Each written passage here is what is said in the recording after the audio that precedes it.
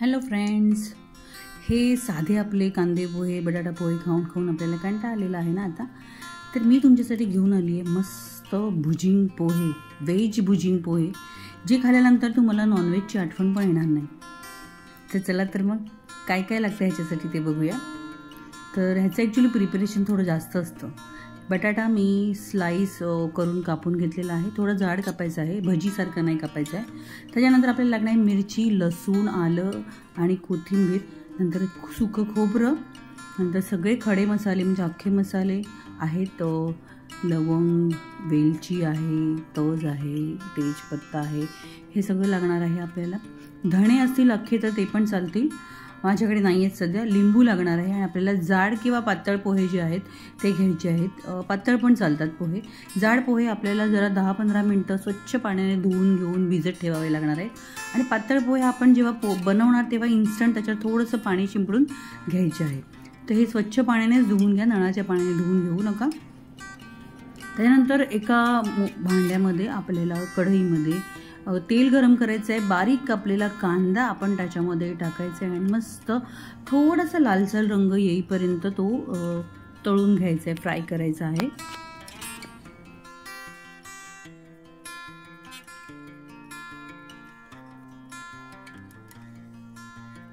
आपले पोहे मस्त भिजलेले आहेत आणि मस्त सुट्टे सुट्टे झालेले आहेत. आणि कांदा पण मस्त फ्राय झालेला आहे. त्याच्यानंतर मग आपल्याला त्याच्यामध्ये बटाटा जो आपण स्लाईस केलेला आहे तो बटाटा टाकून घ्यायचा आहे. त्याच्यामध्ये मस्त तो शिजवायचा आहे. पाणी न टाकता आपल्याला शिजवायचं आहे मीठ टाकायचं आहे आणि मस्त मिक्स करून घ्यायचं आहे आणि अगदी जास्त नाही शिजवायचं आहे. फुटला नाही पाहिजे तो. अख्खा अख्खा असा दिसला पाहिजे. आणि त्याच्यावर थोडंसं झाकण ठेवून मग आपल्याला तो शिजत ठेवायचा आहे. अगदी तीन मिनटं झाकण ठेवून शिजवायचं आहे आपल्याला तो.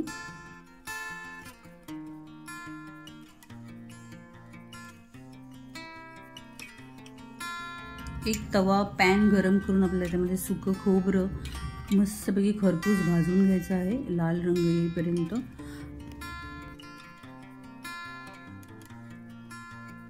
मस्त भाजून घेतलेलं आहे आपलं खोबरं.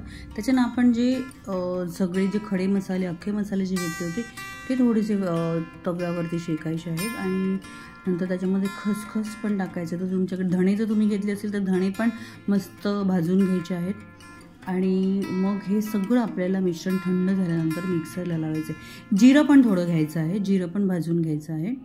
आणि हे सगळं मिश्रण थंड झाल्यानंतर आपल्याला मिक्सरला लावायचं आहे.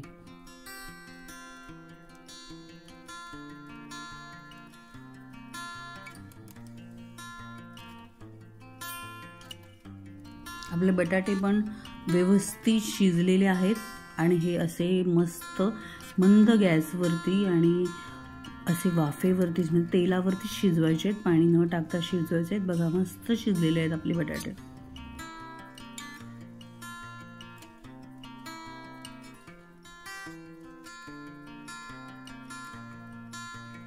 जिरं पण थोडंसं भाजून घेतलेलं आहे.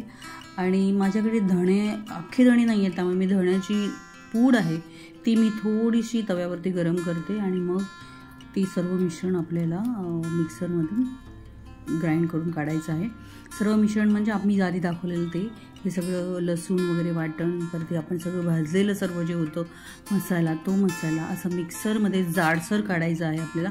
पाणी न टाकता काढायचं आहे. आणि हे अशा प्रकारे बनते. आणि हे जे मिश्रण आहे हे आपण मी जास्तच बनवलेलं आहे कारण मला नेहमी हे पोहे लागतात. आणि हा सगळा असा प्रकार करायला कंटाळा येतो. मग इन्स्टंट असेल रेडी तर पटकन पोहे बनून जातात. सो मी ते बनवूनच ठेवते फ्रीजमध्ये पॅक डब्यामध्ये ठेवून द्यायचं.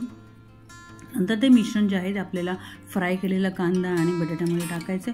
मस्त एकजीव होईपर्यंत मिक्स करायचं. आहे बटाटा अजिबात फुटला नाही पाहिजे. आणि त्याच्यामध्ये नंतर आपल्याला सगळे आपल्या घर घरामध्ये गरम मसाला किंवा आपला जो रेग्युलर मसाला आहे तो मसाला मिरची पावडर धणाजिरी पावडर हळद मीठ हे सर्व टाकायचं आहे आणि मिक्स करून घ्यायचं आहे मस्तपैकी.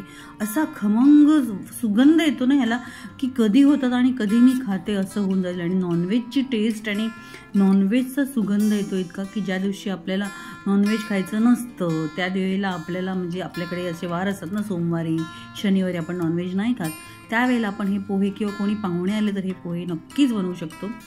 आणि मी खूप जास्तच बनवते हे पोहे जे आहेत ते आपले भिजून ठेवलेले ते पोहे आहेत हे आपण त्याच्यामध्ये घालायचे आहेत.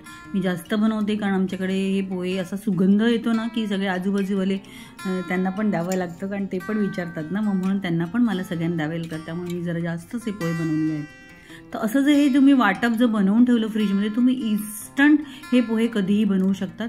त्याच्यावर थोडं एक मी लिंबू पिळते कारण ती टेस्ट खूप छान येते लिंबूची. आणि गरम मसाला वगैरे तुम्हाला जो तुमच्या घरी असेल मी एव्हरेस्टचा गरम मसाला वापरलेला आहे.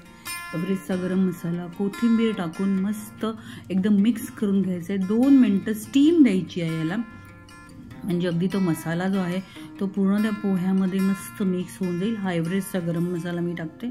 तुम्हाला किती तिखट पाहिजे किती मीठ पाहिजे हे तुमच्या चवीनुसार तुम्ही टाका. मस्त खूप सारी कोथिंबीर टाका आणि मस्त सर्व करा.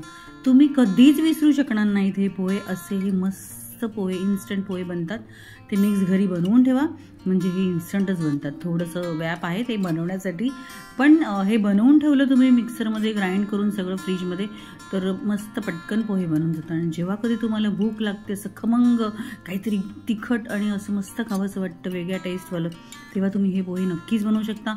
ह्याच्यामध्ये तुम्ही सोयाबीन पण टाकू शकता. म्हणजे लिटरली ते नॉनव्हेजसारखंच दिसेल. आणि हे असे आगळे वेगळे वेगळ्या चवीचे पोहे तुम्ही नक्कीच बनवून बघा आणि मला नक्की कमेंटमध्ये सांगा की तुम्हाला हे पोहे कसे वाटले. आणि माझ्या चॅनलवर जर नवीन असाल तर सबस्क्राईब करायला विसरू नका बेल आयकन प्रेस करायला पण विसरू नका. Till then bye bye see you in next video thank you so much Shri Swami Samarth.